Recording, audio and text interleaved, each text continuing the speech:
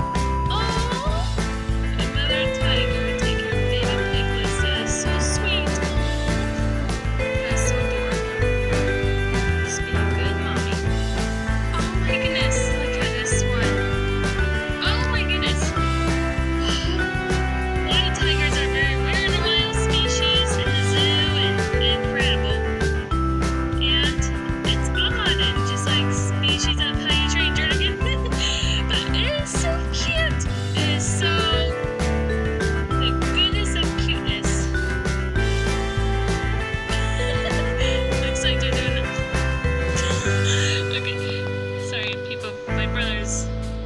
Alright, so look.